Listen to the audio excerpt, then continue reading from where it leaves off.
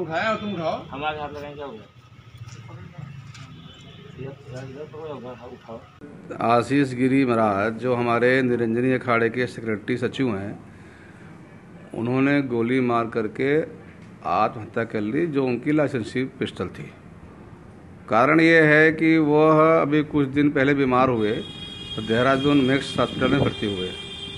Doctor ने कहा कि आप दारू पीते हो, शराब पीते हो, आपका लीवर ख़त्म हो चुका है।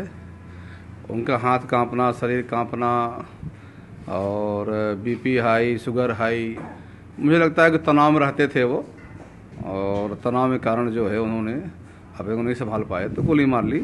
और सारे पुलिस अधिकारी आए हैं जाँच कर रहे हैं और पोस्टमार्टम जो हो जाएगा मुझे जब मिट्टी मिलेगी लाश मिलेगी तो उसको हम लोग समाधि देंगे। बीमारी से तंग आते हैं। हाँ बीमारी से तंग हो गए और कोई कारण नहीं है केवल बीमारी के तनाव आ गए। जब से डॉक्टर ने कहा कि आपको लीवर खत्म हो गया है तब से वो ज़्यादा चिंतित थे वो इसलिए वो बीमारी कारण ही ऐसा हुआ।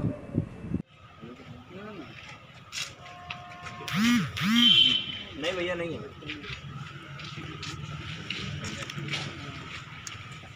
यार इसको अंदर खोल यार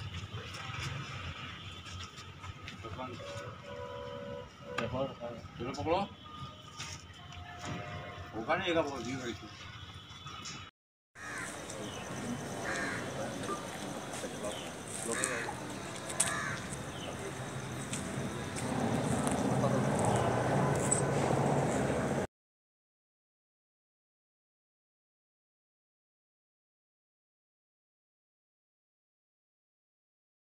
ये देखिए, पंचायती अखाड़ा श्री निरंजनी के महंत आशीष गिरी जी महाराज थे।